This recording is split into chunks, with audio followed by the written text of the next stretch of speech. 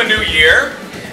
I am Mike Aguilar, also known as Move. I am the director of the University of Oklahoma's Esports and Co-Curricular Innovation Department, which is housed inside of Student Affairs, which also comprises the OU Gaming Club, which is responsible for the facility you're in now, the OU Esports Development, which is all of our competitive efforts on the other side of that wall. We own the entire first floor if you didn't know. And then also Sooner Esports, which are our media components. What you're standing in is a dream come true. The dream of building legacy. I don't care about my name attached to things.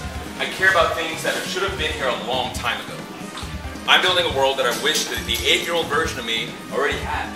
This is now a seven-day running facility year-round. You now have your own home if you care about video games and gaming culture. And this is absolutely for you. There's one underlying rule about walking through this door and being involved in that Discord. Gaming is for everyone, period.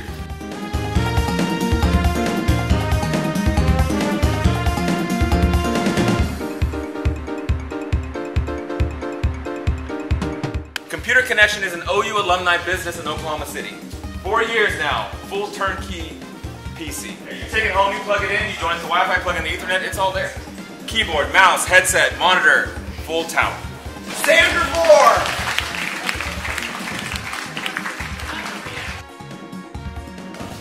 Please, remember what I said. We need your support. Even if it's just telling other people that this space exists. We don't want it to go away, right? We love this space. We want this space. Right? We agree?